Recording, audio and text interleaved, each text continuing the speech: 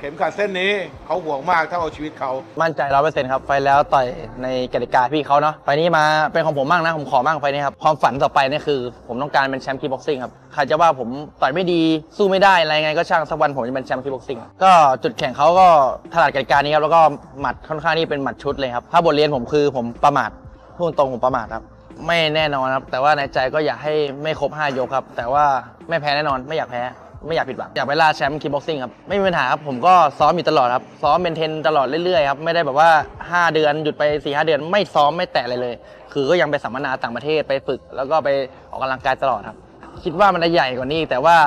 ต่อให้ใหญ่มากแค่ไหนก็จะต่อยรุ่นนี้ต่อไปอะ70กิโลครับยินดีและเป็นเกียรติมากครับ เพราะว่ามวยไทยเนี่ยผมก็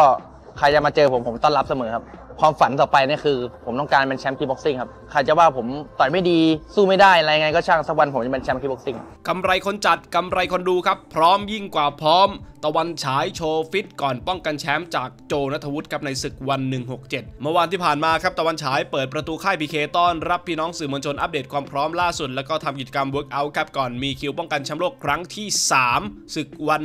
167 ตะวันฉาย PK แสนชัยมวยไทยยิมแชมป์โลก ONE มวยไทยรุ่นเฟเธอร์เวทน้ำหนักไม่เกิน 155 ปอนด์จะลงป้องกันบัลลังก์ครั้งที่ 3 ครับ เจอกับคู่ปรับเก่าอย่างโจ ณัฐวุฒิผู้ท้าชิงชาวไทยที่เคยปะทะกันมาแล้ว ในกติกาคิกบ็อกซิ่งครับ โดยครั้งนี้ก็ถือว่ามีเข็มขัดรุ่นเฟเธอร์เวทของตะวันฉายเป็นเดิมพัน แล้วก็ขึ้นป้ายเป็นคู่รองของรายการ ONE 167 ถ่ายทอดสดจาก Impact Arena เมืองทองธานีในช่วง prime time อเมริกาครับสำหรับศึก ONE 167ครับนอกจากคู่ของตะวันฉายแล้วก็จะมีคู่ของ 2 พี่น้องเพื่อนรักระหว่างสแตมแฟร์เทคครับป้องกันแชมป์โลก ONE การต่อสู้ MMA รุ่นอะตอมเวทนะครับเจอกับทางเดนิส ซัมโบอันกาครับนักสู้จากฟิลิปปินส์แล้วก็ตัวแทนนักกีฬาอีกหลายคนเลยครับไม่ว่าจะเป็นรถถังจิตรเมืองนนท์สิทธิชัย ศิษย์สองพี่น้องแล้วก็คู่อื่นอีกมากมายครับตะวันฉายเองก็ย้ำเลยครับบอกว่าสภาพร่างกายผมไม่มีปัญหาแน่นอน ผมซ้อมอยู่ตลอดความมั่นใจไฟต์นี้เป็นร้อยเปอร์เซ็นต์ไฟต์ที่เจอกับพี่โจในกติกาคิกบ็อกซิ่งเป็นกติกาพี่เขาแต่ไฟต์นี้เป็นกติกามวยไทยเป็นของผมบ้างครับ ก็ถือว่าเป็นคลิปที่นำมาฝากกันครับ workout จาก ONE Championship ครับ เจอกันคลิปต่อไป